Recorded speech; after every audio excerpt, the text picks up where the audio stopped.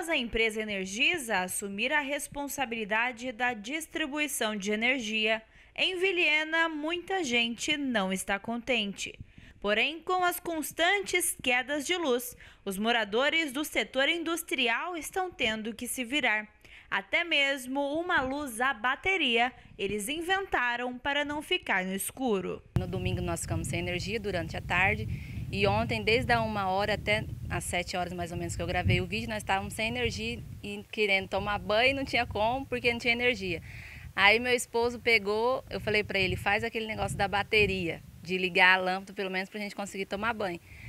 Aí eu falei assim, eu vou gravar um vídeo e vou mandar pro Bronca para eles ver se nos ajuda a, a, resolver esse problema, né? Então, estamos aqui no bairro industrial desde a uma hora da tarde sem energia. A gente liga lá na Seron e eles falam que avisaram os técnicos que vão vir arrumar nossa energia. E como a gente não tem como ficar em casa, não tá preparado para isso, não tem a vela, o que, que a gente faz?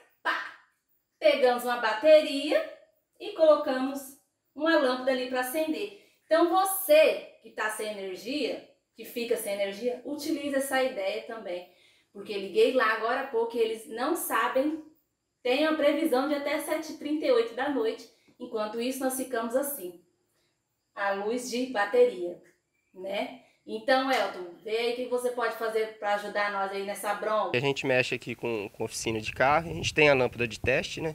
Aí minha esposa outro dia tinha acabado de energia, ela falou, amor, não dá para usar a lâmpada do carro na bateria, sempre tem bateria e...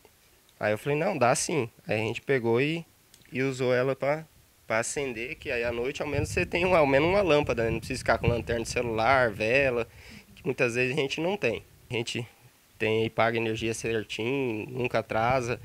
E por demais, mesmo que chegasse a um ponto assim, mas teria algum motivo e é complicado a gente ter. Uhum.